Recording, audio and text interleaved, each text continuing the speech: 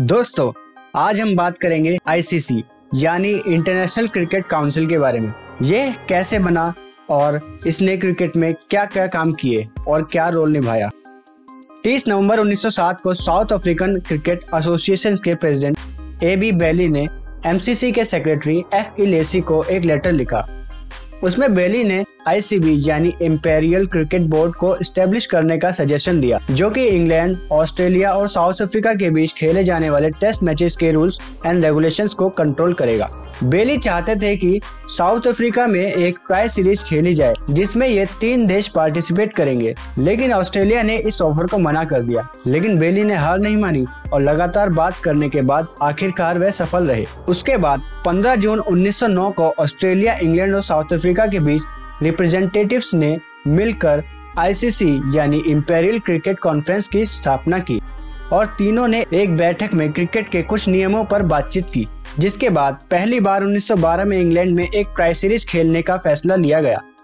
1926 में New Zealand West Indies और India को आईसीसी की फुल मेंबरशिप के लिए चुना गया, जिससे टेस्ट मैचेस खेलने वाले देशों की संख्या बढ़ गई थी।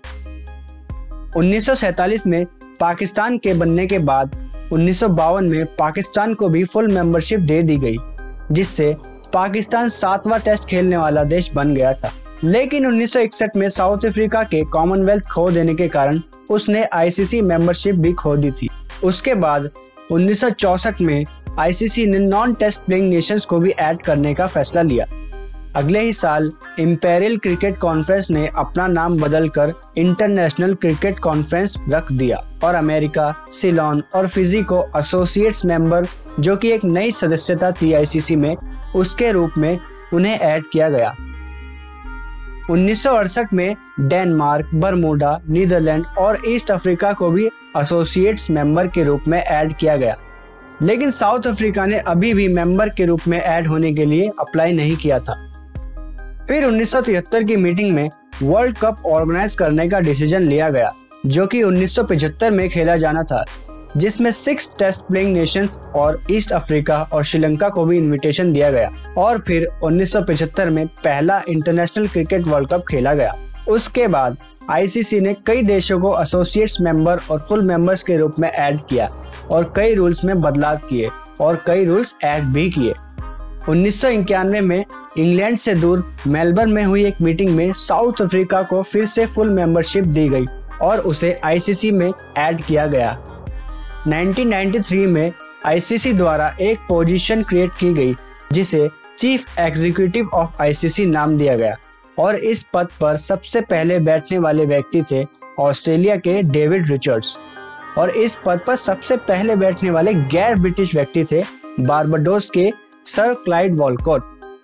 इसके बाद आईसीसी ने थर्ड अंपायर जैसे रूल्स की शुरुआत की और रनआउट्स और स्टंप्स को बताने के लिए वीडियो प्लेबैक के ज़रिए थर्ड अंपायर का यूज़ किया, जो कि हरी और लाल बत्ती से आउट या नोट आउट दिया जाता था।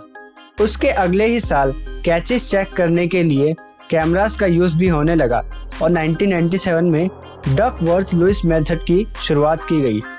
आईसीसी आज तक वर्ल्ड क्रिकेट को कंट्रोल करता आ रहा है।